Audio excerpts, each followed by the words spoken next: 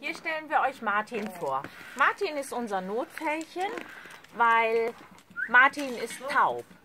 Ähm, Martin ist fünf Monate alt, wird eine Endgröße von, ja, vielleicht 55 Zentimeter plus minus bekommen.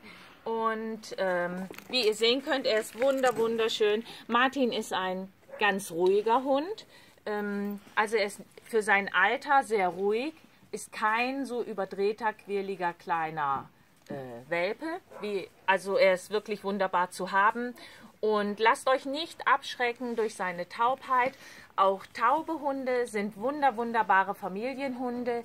Man kann mit ihm ein schönes Training beginnen, vielleicht mit einem Vibrationshalsband, ähm, dass er weiß, wann man ihn ruft, dass er, er hört einen ja nicht, aber er spürt es in dem Moment. Und ein guter Trainer bringt es mit Sicherheit auf den Punkt mit ihm. Schaut ihn an, also er ist wirklich ein ganz, ganz netter kleiner Bub. Welpe im Moment. Wie gesagt, er wird größer werden.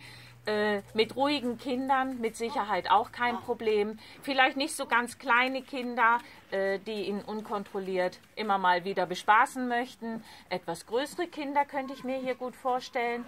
Und ja, also im Endeffekt ein wunderbarer, wunderbarer Familienhund. Er ist eine Augenweide, also er ist wunder, wunder, wunderschön.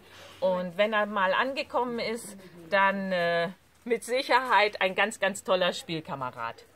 Für die Kinder, für die ganze Familie.